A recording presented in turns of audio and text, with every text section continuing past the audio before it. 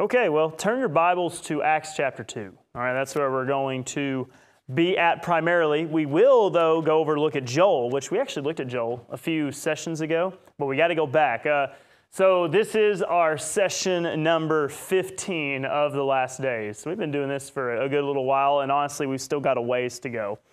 Uh, the topic or the title of this session is going to be This is That. This is That. And that's actually coming from Acts chapter 2, verse 16. If we, hey, come on in, come on in. We've got notes for you up front if you'd like some. But what we are trying to do is we're trying to see what is going on in that transition from the Gospels to the book of Acts, okay? And it absolutely is relevant for the last days, the end times, the tribulation, the sun turning to darkness, the moon to blood, the water turning to blood, stars falling from heaven, all the crazy apocalyptic events that you read about and you picture in the Bible. This is relevant because what we're trying to determine is what is this kingdom thing about? What is this tribulation thing about? Is it staying consistent with Old Testament prophecy? or is something getting shifted? Do you need to be worried about it, right? On top of all the other things you have going on right now and the election coming up on Tuesday, do you also need to be worried about facing a tribulation? I think those are things you want to know. And we don't get those answers truthfully from just the book of Revelation. I would even say that most of our answers about the last days is we, we actually find in other parts of the Bible. Revelations is just the details, all right? It's giving you the details, but everything else is actually set up for us. So when we got to the close of Matthew chapter 28, we observed that the, uh, they're throwing t shirts around there, uh, but we observed that Jesus' instruction to the disciples was not go tell the world, say by grace through faith, not of works. No, it was you are to teach this gospel, proclaim this gospel. It's the gospel of the kingdom. It's, it's the Jewish message that the kingdom is at hand, you need to repent. And so, what we're finding is as we're getting into even the book of Acts, Acts chapter 1, Acts chapter 2, the concept, the focus is still this is Jewish matter, it's kingdom matter, it's tribulation matter, okay? And I think we're going to see that even as we get into session number 15 here. So uh, let me open us up in word of prayer and then we'll get uh, right into it. Lord, thank you for this time that we have to study your word. And I pray that as we uh, analyze what it has to say, that we would rightly divide it, carefully paying attention to uh, what it says. And hopefully, it will give us some good peace of mind. I, I do believe that we have some very uh, comforting words uh, that is in our gospel that we can take great comfort and peace in. And with that, I pray that we'd understand your word uh, better today. And it's in Christ's name I pray. Amen. All right, so if we are going to understand the last days matter, okay, and I think this is relevant because I look at y'all and y'all all have kids in the house and they have questions. And so, how do you go about answering it? How do you help them understand? Well, the key is understanding this transition, I think. We've got to get this transition from the Gospels to the book of Acts right, okay? It's crucial. And I think standard Christian teaching is the Gospels are getting us ready for the church age, uh, the age that we live in. And then the second that you get to Acts chapter 1, Acts chapter 2, we're off to the races, right? This is the church as we know it today. It's all about us, all the instructions about us. And guess what? You absolutely do have references to tribulation, trials, enduring till the end, even in the book of Acts and onward into the other epistles of Peter, James, and John. Well, if we're going to apply that, well, if, if we're going to be deriving our position on what the kingdom and the tribulation is, if we don't have any clear position to argue that we're operating outside of that program, that we're something different, we would have to say, well, the tribulation's about us, the kingdom's about us, we better get ready for it, right? Our kids may very well live to see the Antichrist. We may live to see the Antichrist. But I think if we analyze the Bible, we can uh, understand exactly what is going on here and we'll get this right. So it's been our position up till Acts chapter 2, that's where we're going to be today, is that the kingdom of God, it's consistent. This is a future physical thing, all right? And that's a hard pill to swallow, and I've talked about that before because so many churches, like their whole identity is we are kingdom builders. As a matter of fact, I think that's even an exact catchphrase, maybe a trademark phrase that a church or a ministry has, right? We're building the kingdom. Every Sunday we meet, we're building the kingdom. And that's because they take that spiritual kingdom view.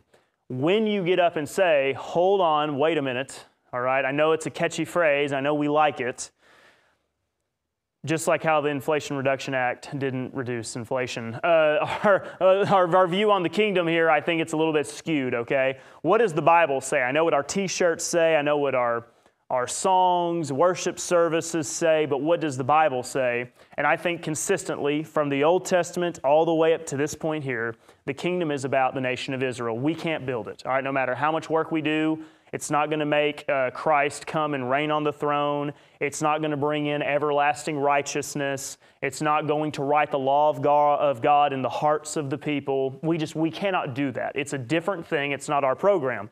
And I think that the, tri- the, the tribulation is also consistently in the context of Israel. So when we get to Acts chapter 2, and we're about to read some of this passage here in just a moment, we basically have a couple options that we've got to keep in mind, okay? So here's our Acts chapter 2 possibilities. Either prophecy is expanded, okay? That's one possibility. Maybe there is some expansion here. Maybe the kingdom is broadened a little bit. Maybe the tribulation's broadened. Maybe Israel to a degree is broadened. Somehow that scope is shifted, okay, to where um, maybe the kingdom is not just future physical, but maybe somehow it's here and now or maybe God's chosen people. It's not just Israel, but expanded beyond somehow. Um, God has already promised He will fulfill the kingdom promises, that it will come. So we can't redefine the kingdom. We just can't do it. All right, that would be a complete redefinition of the Old Testament because the Old Testament says the Messiah will come, He will reign as king in Jerusalem. So that's one, one possibility. Another possibility is Acts chapter 2 is completely outside of the prophetic program, that we're, we're dealing with something that the prophets didn't speak of, so therefore it's something completely on its own. It's a different thing, and so we don't need to make the Old Testament prophecy apply. Okay? That could be a case. The other possibility is it's just the continuation of prophecy, that it's the fulfillment of it, that it affirms it. So we're going to look and see in the chapter of Acts 2 is there uh, any information, any explanation as to what is going on? Does it fulfill prophecy? How does it fit into this whole picture? So that's what we're going to be looking at here, okay? So if we go to Acts chapter 2, verses 12 through 15, that's what we're going to read. I'll remind you the Holy Ghost has just come upon Peter and the disciples, and they're speaking in different tongues, okay? It's not the tongues of blabbering, okay? It's tongues in other languages. There were Jewish men there for Pentecost. It was a Jewish feast. They were Chaldean, Greek, whatever, and they were hearing it in their own language, right? This would be like me opening my mouth and speaking in some language, you know, like French, okay, or something else. I have, I can say oui, oui, and that's about it. Croissant, is that a, is that a French word? I have no idea. If not, it's very deceptive because croissant sounds French. But with that being said, that's the scene there as they are speaking. Verse 12, and they were all amazed. So the Jewish men present, they were amazed, hearing the disciples speaking in their own tongue. Remember, they said, Aren't these men Galileans? Okay, they could tell something about them. Either they knew they were from Galilee or by their accent, I have no idea. But they were saying one to another, What meaneth this? Verse 13, others mocking said, These men are full of new wine. Now, I have long thought that verse 13 is others mocking the disciples, saying that they are full of new wine. Like, oh man, you know, don't, don't listen to those guys. That's not the Holy Ghost. They're just all drunk, blabbering like crazy. But I think what I, what I, I, I would say instead is why would they say that the disciples were full of new wine if they were speaking in other tongues? Okay, like, I don't think if you you know, make a guy drunk enough that he's going to start speaking in a coherent language. He'll probably speak in something that sounds like another language, but it probably won't be very coherent. And so, I don't know, maybe we should experiment. If uh, we drink enough, maybe we can speak in another language. I think verse 13 is actually, though, saying, Oh, you only think they're speaking in another language. Y'all are already so drunk that you're just hearing things. I think that's probably the position there. And so, verse 14, but Peter, standing up with the eleven, lifted up his voice and said unto them, Ye men of Judea, and all ye that dwell at Jerusalem, be this known unto you and hearken to my words. So let's pause right there and think once again, what is our context? Peter gets up and he speaks to the men of Judea, all right? Now, the men of Judea, Judea is a very specific region, okay? Um, Galilee is the northern part of Israel, Judea is the southern part of Israel. That's where we get the term like the southern kingdom of Judah, Judea. So, ye men of Judea, those of you that live here, those of you that actually are, are um, born, bred Judeans, okay, uh, then there's this other group. There's those that are of Judea, and all ye that dwell at Jerusalem. So, all you that are here at Jerusalem right now, hearken unto my words. Be this known unto you. Verse 15 For these are not drunken as ye suppose, seeing it is but the third hour of the day. Every time I read that, I have to just stop and laugh because it's almost like he's saying, maybe a little bit later on we'll break out the booze, okay? But for right now, we're not drunk. It's just the third hour of the day. Verse 16 But this is that which was spoken by the prophet Joel. But this is that. That is going to be the focus of this whole thing. What does Peter mean by this is that, and what is that prophecy of the prophet Joel? Now, before we go any further, I would say I think our answer to our first question is, is made clear. We said there's only a few possibilities in Acts chapter 2, right? Either we're expanding prophecy or we are somehow operating outside of prophecy okay, in a completely different thing, not related to Israel, or this is just an affirmation or continuation of prophecy. I think verse 16 makes it clear. When you read Acts chapter 2, this is about an Old Testament prophecy. It's the fulfillment of it, it's the affirmation of it. So, there's our answer right there. It's a continuation of prophecy. Now, let me pause and I want you to listen to me, okay? If you say that Acts chapter 2 is about Israel and not the church, not us, not the body of Christ, the vast majority of pastors and churches are going to strongly disagree with you. Okay? They're going to say that Acts chapter 2 is about us. It's about our foundation of the church. It's where this whole thing started. There's some people that would call themselves Acts 2 dispensationalists, meaning that they believe our dispensation, the age of grace, started in Acts chapter 2. Okay? So, I also want you to be prepared. If you go to pick up a Bible, or, well, um, a study Bible, let me say that, a study Bible that has notes in it, marginal notes, and you read about Acts chapter 2, they will tell you something like, This is the beginning of the church. This is the fulfillment of it, okay? This is when our age of grace starts. Peter was preaching our gospel, things like that. Or if you were to just t- turn on uh, the radio and listen to a preacher and they're talking about Acts chapter 2, they're going to be talking about Acts chapter 2 as if this is our church. Okay, this is our foundation, this is our beginning. And that's true if you go to most churches around here. If you were to visit a church somewhere else on a Sunday, like just pick any church down the road probably, they're going to say, This is all about us. Okay? I am telling you According to Peter's testimony, this is that which was spoken by the prophet Joel. All right? This is not you and I. This is not mystery stuff. Remember, we looked at our options. We said it could be outside the prophetic program, but it's not. It's a part of that prophecy. It's the fulfillment of it. Therefore, the focus here is the nation of Israel. Now, somebody could argue and say, well, but this is expanding the prophecy. Now it's incorporating us. Now it's going to become about us. I will argue that in Acts chapter 2, as we read further, you are not going to see at one point our gospel or the body of Christ being referenced or incorporated in any way. Okay? So, even though Acts chapter 2, it's commonly taught that way, most people, I think, misunderstand it.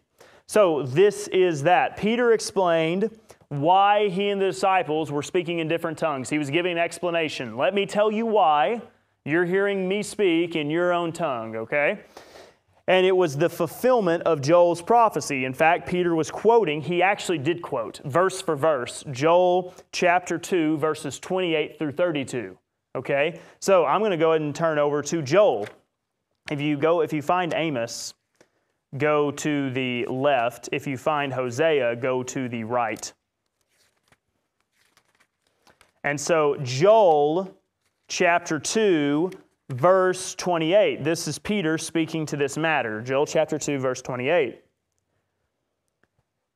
And so here's what Joel says And it shall come to pass afterward that I will pour out my spirit upon all flesh, and your sons and your daughters shall prophesy. Your old men shall dream dreams, your young men shall see visions. And also upon the servants and upon the handmaids in those days will I pour out my spirit. And I will show wonders in the heavens and in the earth, blood and fire and pillars of smoke. The sun shall be turned into darkness and the moon into blood before the great and terrible day of the Lord come. And it shall come to pass that whosoever shall call on the name of the Lord shall be delivered, for in Mount Zion and in Jerusalem shall be deliverance, as the Lord hath said, and in the remnant whom the Lord shall call. So, in the last days, it'll come to pass afterward. These things are going to occur. The, uh, the wonders in heavens and earth, blood, fire, pillars of smoke. I will pour out my spirit upon all flesh. That is the description that Joel gives. If we go to Acts chapter 2 and read verses 16 or verses 17 and onward, look at what Peter says. And it shall come to pass in the last days, saith God, I will pour out my spirit upon all flesh, and your sons and your daughters shall prophesy, and your young men shall see visions, and your old men shall dream dreams. And on my servants and on my handmaidens I will pour out in those days of my spirit, and they shall prophesy. And it just goes on, and he recites the testimony of Joel chapter 2. So, this is that. That's Peter's testimony there regarding the prophecy of Joel. Now, you will recall in session 9, okay? Session 9, I know that was a while back, like a month ago or so.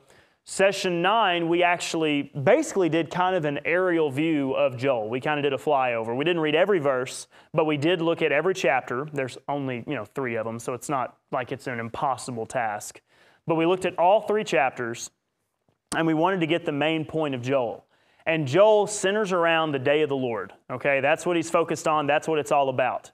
And what I want people to understand is if we read Joel, the day of the Lord is about a very particular group of people. That would be the nation of Israel. All right? So, in light of today being November 3rd and a major event occurring on November 5th, let me say to you, okay, whoever is going to be in the White House come January of next year, they are not going to be the Antichrist, okay? Uh, just, I would be willing to take that to the bank.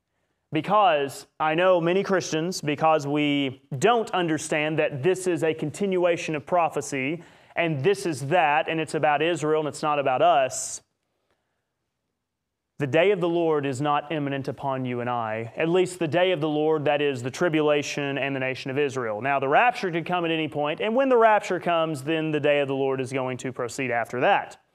But have a little bit of peace of mind that even though things could get bad, and it absolutely could, it's not biblical prophecy unfolding, okay? Um, whoever is the president next year is not going to uh, be the fulfillment of that prophecy. For one, I think that the Antichrist, for example, and we'll, we'll get into this at a later point, I think the Antichrist is actually going to be Jewish in nature. And from what I can tell, neither of our two candidates are Jewish in, in any background at all. Um, we did have the potential for a vice president candidate to be Jewish, but then he didn't get chosen. So, with that being said, very confident we're not seeing prophecy fulfilled. So, take a deep breath, okay, everybody? We need to lighten up. All right, it's going to be okay. Um, with that, you could absolutely make some bad choices in, when you go to the voting booth, so be careful. Now, with that being said, um, this is a continuation of prophecy. Joel testifies that the day of the Lord is about Israel and the fulfillment of those last days. And there is going to be a great time of trouble for Israel there's going to be then the deliverance of Israel. God is going to come and carry out judgment upon those nations that mistreated Israel. Now, The Israel here, I would also argue, is still not the Israel that we have yet today. This is not the prophetic program. We don't live in that time. That is a nation that is called Israel, and there's a lot of Jewish people in it, but it's not the Israel that is of these prophecies here. Now, um, it'll be a remnant of the Jewish people in those days. So, in, in Joel's third and final chapter, after God pours out his Spirit, if we go back to Joel chapter 2, uh, and it says, after those things, the pouring out of the Spirit, blood, fire, pillars of smoke, the wonders of heaven, the sun turned to darkness, the moon into blood, and then it coming to pass, whoever calls on the name of the Lord will be delivered, for in Mount Zion and in Jerusalem shall be deliverance. Zion is Jerusalem, okay? Verse 3 sorry, chapter 3, verse 1. For behold, in those days, in that time, shall I bring again the captivity of Judah and Jerusalem. This is all about the nation of Israel. I will gather all nations and bring them down into the valley of Jehoshaphat. And I will plead with them there for my people and for my heritage, whom they have scattered among the nations and parted my land. And this is going to be Armageddon, okay? The, the, the, the valley of Megiddo, the valley of Jehoshaphat, I believe, I'm confident this is Armageddon that you're seeing right here, okay? So, Armageddon, my position, I think I'm very confident in this, is not going to be fought between the United States and China, the United States and Russia. That's not Armageddon, okay? Um, World War III, yes. Armageddon, no. All right? Or Armageddon is going to be between the armies of the Antichrist marching on to destroy the nation of Israel, God coming and bringing judgment upon them, okay? That's the picture that we're seeing. And so, that's what Joel's focus is. That is the preparation uh, of all these events leading up to the final days of God bringing in everlasting righteousness, dwelling in Jerusalem, Christ coming, his second coming, reigning as king. And Peter, when he invokes Joel here in Joel in Acts chapter 2, I should say, he is preparing the Israelites, telling them that the day of the Lord is upon them. Here it is. It's at hand. It's about to come. This is that. This is the fulfillment of prophecy. The last days are about to be completed. The prophecy is about to be fulfilled. All these things.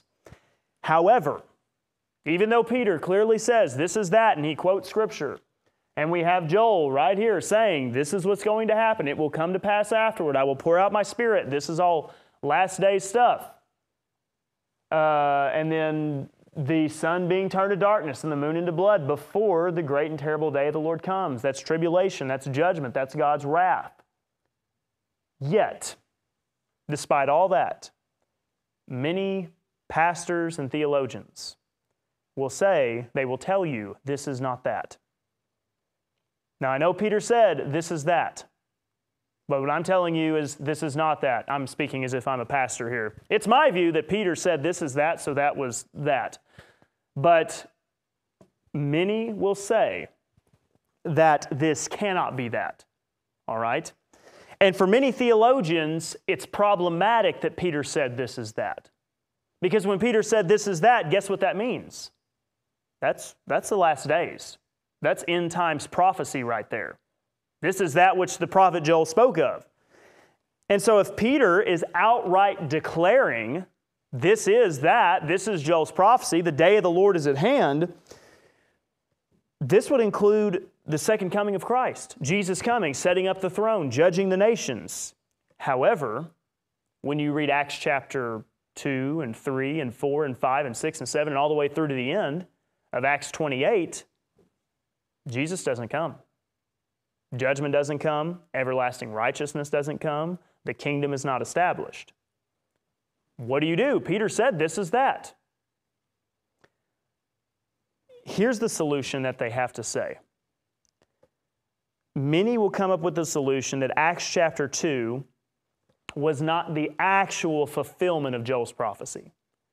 That Peter got up and said, This is that, to say, Hey, hold on, hold on, everybody. I know you think they're all drunk. But what I'm telling you is remember how Joel said that in the last days God would pour out his spirit upon all flesh? Well, this is kind of like that. So, in their view, maybe Peter should have said, This is kind of like that, instead of this is that.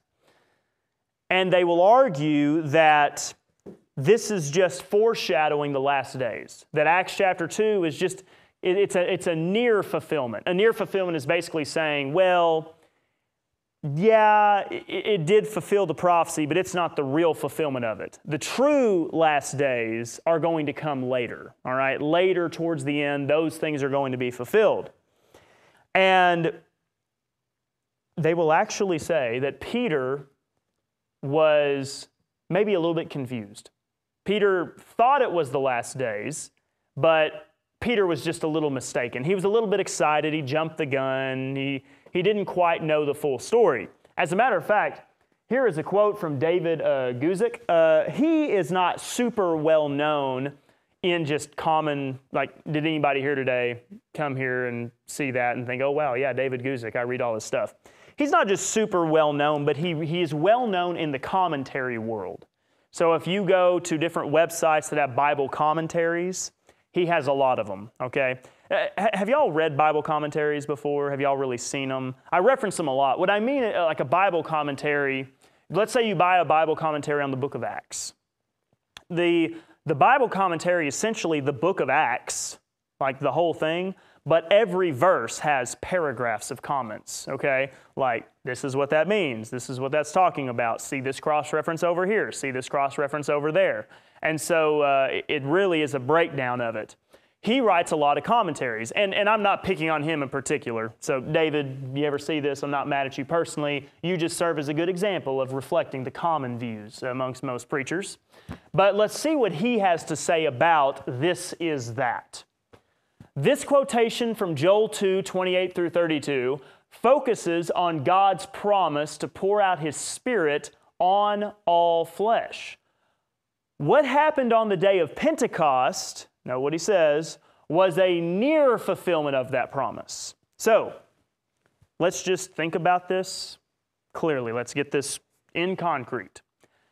The a common view, a broadly accepted view by very well esteemed preachers, teachers, pastors, seminary professors, theologians, you name it, is that when Peter said, This is that, it's not really that. It was like that, and it was maybe kind of a foreshadowing of that, but that is not that.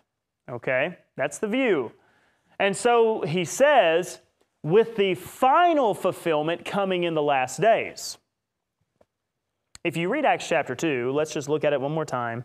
Verse 16 but this is that which was spoken by the prophet Joel, and it shall come to pass in the last days. It, he says, This is that. It will come to pass in the last days. Sounds like Peter's saying this is the last days. Furthermore, let's go to 1 John. Turn your Bibles, 1 John. This is not in your notes, but I want to talk about it for a moment because I think it's important. 1 John, it'll help prove my case. 1 John chapter 2.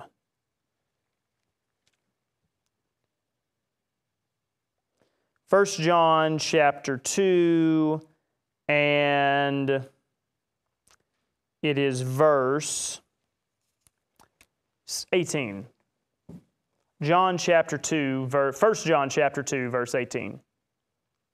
Little children, it is the last time. Now, the, the Greek there, eschatos oros, last hour, last days, that's what he's saying. It is the last time. And as ye have heard that Antichrist shall come, even now there are many anti- Antichrists, whereby we know that it is the last time. So we have First John saying it is the last time, the last days, eschatos ora. Peter, second or, or Acts chapter 2, verse 17, and it shall come to pass in the last days, this is that. I think that the disciples, the apostles, were convinced that they were living in the last days. I think you see it testified by Peter.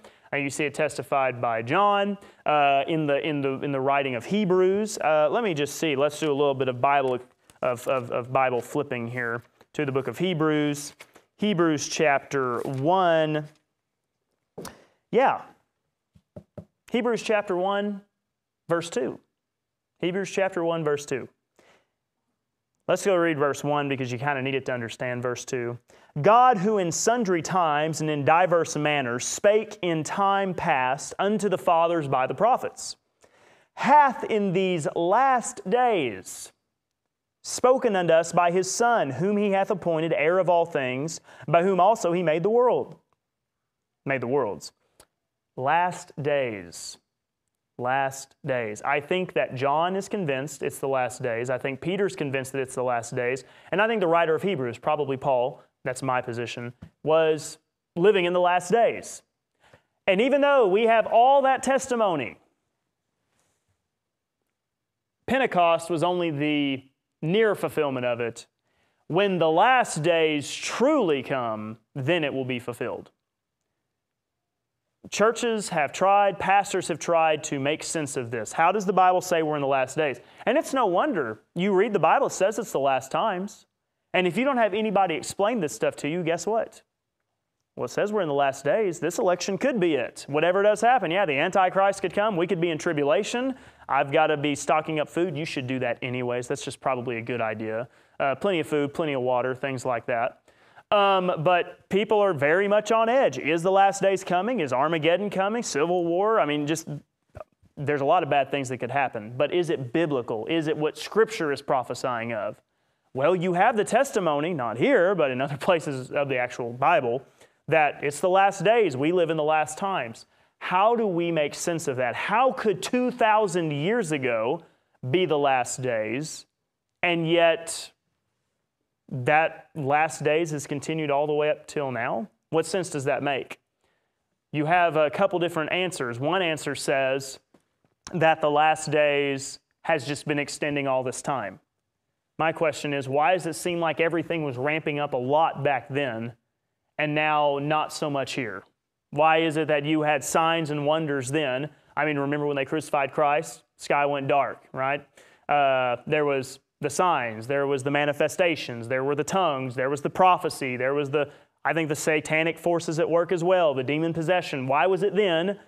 And here we are now, and I would say at the very least, we can all agree, not near as of biblical proportions, right? If uh, somebody has a demon, it's you know, a little bit debatable. The demon possession pictured in the Bible, remember the, the, the demoniac in, uh, in Gadarene? He was breaking chains. They were chaining him and he could break them, right? Now, if we see a video and somebody's eyes roll in the back of their head, we're like, demon, demon, demon, demon, demon. I know y'all have seen videos like that in recent days. Oh my goodness, look at this politician, somebody in the background, their eyes rolled the back of their head. It's of Satan, it's of the devil. Oh my goodness all right? Why is it that Scripture seems so clear that was the last days? Peter says this is all playing out, and yet here we are today, 2,000 years later. Either somehow the last days has been going on all this time, or something else, right? Now, his answer is that wasn't really the last days. I think you're flying in the face of what Peter, James, and John, Peter, John, and the writer of Hebrews told us. I think instead of going with what Guzik said, and what Guzik said is just what a lot of other people have said, you know, he's, he's just repeating what he's been told. You know, theologians are kind of like children. You ever hear them repeat what they say? Have you ever said something you shouldn't say and then they've repeated you? Preachers do that as well. Um, just not as bad as you. no, I'm just kidding. Um, but theologians are kind of like toddlers. They will pick up whatever they hear, right? So he's probably just repeated it at some point along the way.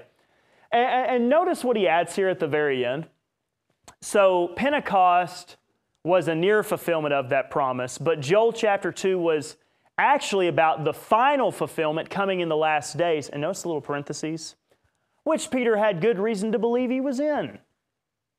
That's us patting Peter on the head and saying, Oh, Peter, you thought you were living in the last days. That you are so adorable. Whenever my son does something that's cute, I'm like, Oh, I'm so proud of you. Like, Oh, Peter, you thought you were living in the last days. I feel like we treat the, the apostles with like such like disdain sometimes. Like we almost look down on them. Like they they didn't understand, they were confused, but we know. The seminary professors, the pastors of these mega churches, we know the truth. Peter was just confused. Poor Peter. I would say, uh, no, I think Peter knew what he was talking about. Remember how I. T- They're almost saying Jesus was a bad teacher, okay? I'm getting fired up. I'm getting mad now. Um, and when preachers get mad, they don't typically cuss in sermons, they just go to more passages of Scripture. So let's just look in Acts chapter 1 one more time. I'll remind you in our last session, here's what we read. Okay? Verse 2, Jesus is resurrected in Acts chapter 1, verse 2. All right? Um, until the day which he was taken up, after that, he, through the Holy Ghost, had given commandments unto the apostles whom he had chosen. Verse 3 To whom also he showed himself alive after his passion by many infallible proofs, being seen of them 40 days, and speaking of the things pertaining to the kingdom of God. For 40 days, 40 days, Jesus taught them about things pertaining to the kingdom of God. And then we're going to say in the immediate next chapter, just, just right after Jesus' ascension, Peter instantly gets it wrong. He thought he was in the last days and he wasn't. I think we have such disrespect for the apostles and it's a real shame. We should just take them for what they say, okay? So when you're reading your Bibles, if Peter says this is that, let's just go with this is that and leave it at that, all right? And that's all I've got to say about that. Not really. Hold on. That's not all. All right, so I better, better move on here. Uh, that's ridiculous, isn't it? Okay, last one, I promise. I would say instead of us trying to make this argument that somehow Peter was confused and that wasn't really the fulfillment of prophecy, that it was only a foreshadowing and the real last days are going to come, what if the last days were put on hold? What if there was a pause? What if we were gearing up for them? What if, what if the last days were approaching? This whole thing was getting ready to occur. The judgment was about to come blood, fire, pillars of smoke, all that. And yet, God, for some reason, decided, you know what? Hold on. I'm going to implement something different, something outside of the prophetic program, something that's not about Israel in the last days, but rather it's about this thing I'm going to call the body of Christ and a different dispensation, a gospel of which it's not about the law, it's by grace through faith, not of works. This is where rightly dividing the last days is going to be essential. Okay, it's going to be essential for us. When we start to realize that all that stuff in Acts 2 is about Israel prophecy, Israel covenant things, and what we have today is fundamentally different. We will not mess these things up. We will not get confused. We'll not start applying things. And we certainly won't start saying that the apostles were confused and didn't know what they were talking about. Okay? So uh, that's going to be our approach. I think that the best solution is that all of these things were put on hold for a time. And then once our dispensation comes to a close, guess what's going to be spun up? Guess what's going to start? The last days. And when you get to Revelation, what starts to happen? Blood, fire, pillars of smoke, sun turned to darkness, the moon to blood, the great and terrible the day of the Lord approaches. And so uh, we'll get these things right if we rightly divide. And I think that's the key there. Uh, so, yeah, I'm going to be encouraging today and say quit worrying about tribulation and end times prophecies because we're not in that dispensation, okay? But that doesn't mean that things can't get rough we can absolutely make things pretty rough on ourselves. So let's make good decisions, okay? We'll dig our own holes and create our own problems, but we can also create some solutions as well. All right, do y'all have any questions before I uh, cut out our Sunday school program today? Nothing? Is that it? There's nothing that you'd want me to address? Or that? that is surprising. Okay, well, let me close out in a word of prayer, and then if you do have a question, then we can ask it if you want to, not, it not to be on the recording. All right, Lord, thank you so much for this time that we've had to look at your word, and I pray that we just take it for what it says, um, just to take you at your word and understand that what occurred in Acts chapter 2 was prophecy regarding Israel, that kingdom uh, uh, economy, Lord, or uh, dispensation that was made available to them, and yet with the rejection of their Messiah, you decided to put a pause on it and bring in our age of grace. And we're so thankful for it, where we can have great hope and peace and joy uh, in you. And we ask these things in Christ's name. Amen. Okay.